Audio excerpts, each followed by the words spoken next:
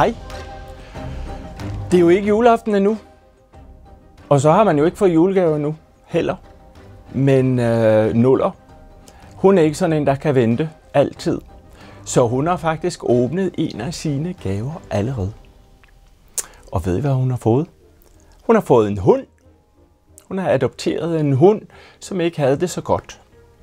Så den skal nu hjem og bo i Nullers have. Så når vi skal bygge en hund, så skal vi bruge øh, noget brun pap fra en papkasse, nogle øh, piberenser, silkebånd, øh, perler, en lille træplade og en pongpong. Og det kommer jo alt sammen fra kreakassen.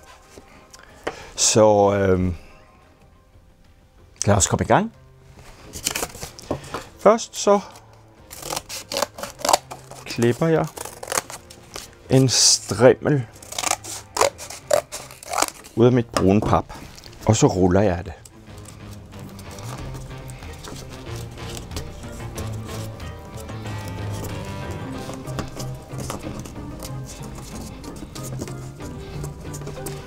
Sådan.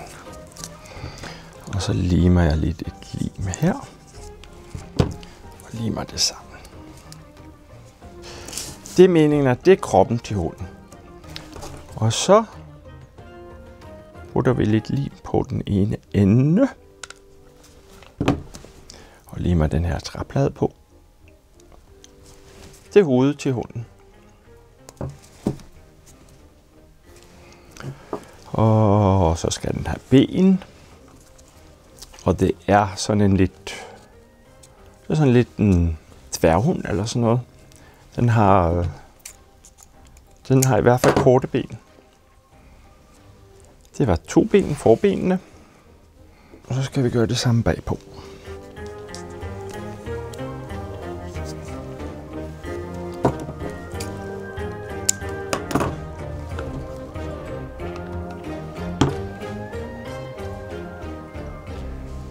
Så har den fået fire ben, fire puter.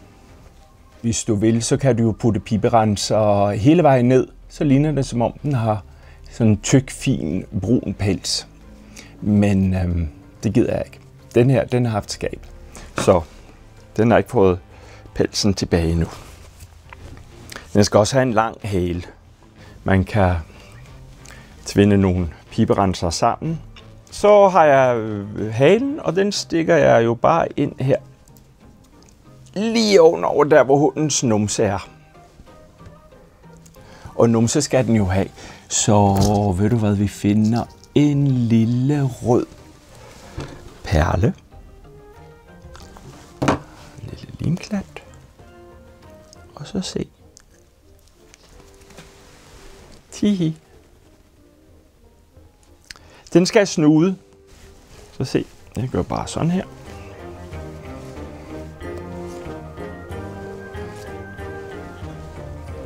Det kan jo være nuller, når hun ikke arbejder på englehjemmet, at hun faktisk har planer om at åbne et dyre internat, hvor hun øh, passer på øh, dyr, der ikke har noget hjem.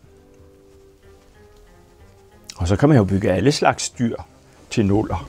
Katte og hunde og guldfisk og heste og panda og Ja, kun fantasien, der sætter stop. Se!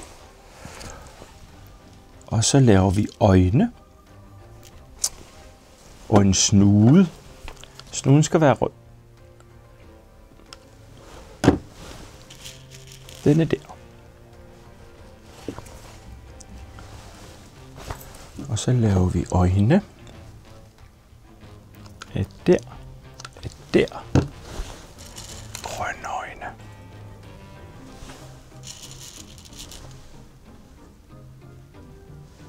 Ej, den bliver sød. Men den mangler ører. Folder bare lidt, et lille stykke piberenser et par gange, så det bliver sådan en spids trekant.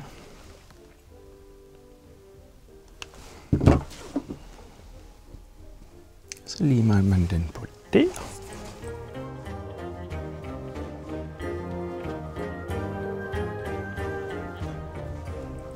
Ej, hvor bliver den sød.